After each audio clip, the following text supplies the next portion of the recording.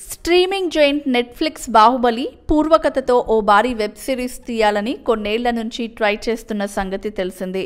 బాహుబలిలో బాగా హైలైట్ అయిన శివగామి పాత్రను ఆధారంగా చేసుకొని రచయిత ఆనంద్ నీలకంఠన్ రాసిన ది రైజ్ ఆఫ్ శివగామి ఆధారంగా ఈ సిరీస్ తీయాలని నాలుగేళ్ళ ముందు ప్లాన్ రెడీ అయింది.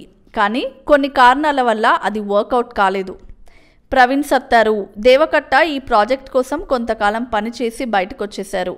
తర్వాత వేరే టీంను పెట్టుకొని సరికొత్తగా బాహుబలి సిరీస్ తీయడానికి సిద్ధమవుతోంది నెట్ఫ్లిక్స్.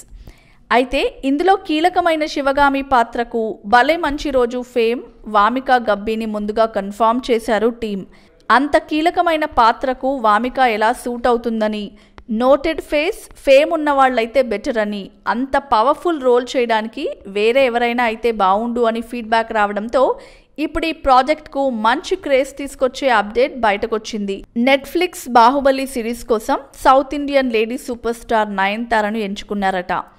ఆమె పాత్ర ఏంటి అన్నది ఇంకా తెలియలేదు కానీ ఈ ప్రాజెక్ట్కు నయన్ సైన్ చేయడం మాత్రం కన్ఫామ్ అంట. దేవసేన పాత్ర ఏమైనా ఆమె చేయనుందా? లేకుంటే కొత్త పాత్ర ఏదైనా ఆమెకి ఇస్తున్నారా అన్నది ఇంకా తెలియాల్సి ఉంది.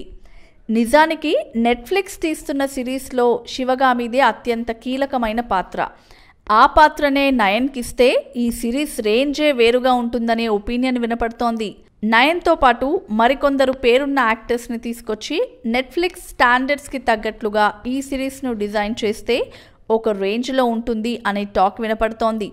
ఇద్దరు యంగ్ బాలీవుడ్ ఫిల్మ్ మేకర్స్ ఈ సినిమాను డైరెక్ట్ చేస్తున్నట్లు టాక్.